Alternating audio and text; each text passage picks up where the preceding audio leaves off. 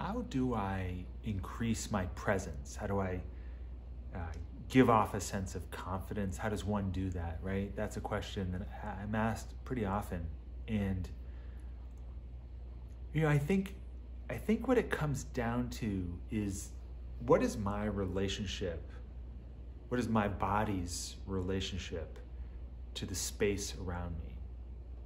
There's this in, in dance or in theater, a lot of times what people do is they train to think of space not as emptiness, but as actually like a um, like a substance.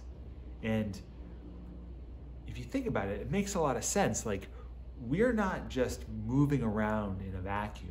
Every gesture, every movement, our bodies entering the room, it, it, it does something to the space that we're in. It does something just like adding a plant to a room can do something to that space, or furniture can change the way a space feels.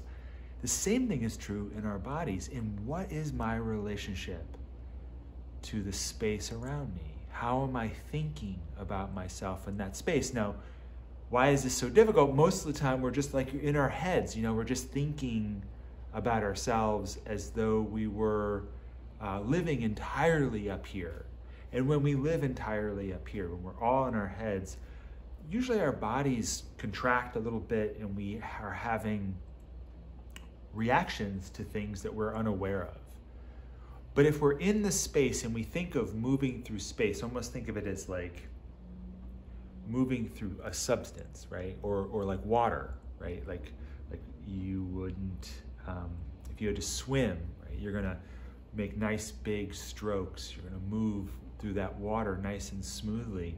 And the same thing is true with just the air around us, right? In a room, in, in a space, in a meeting, or in talking to another person.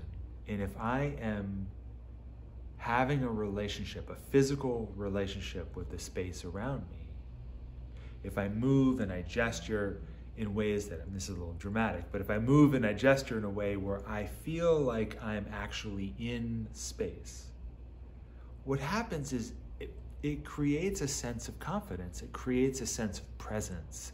This, this uh, thing that's very, it's very hard to capture. It's very hard to quantify, but there's something qualitatively different about people who are in their bodies and are moving through space as though it were moving through a liquid or moving through some kind of substance.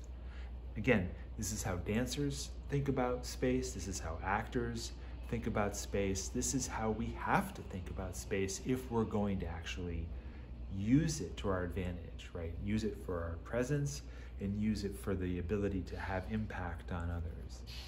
So if you're looking for ways to increase your presence, if you're looking for ways to communicate yourself physically a little differently in the world, start with just asking yourself, what is my relationship to the space around me? How am I filling it? How am I moving through it?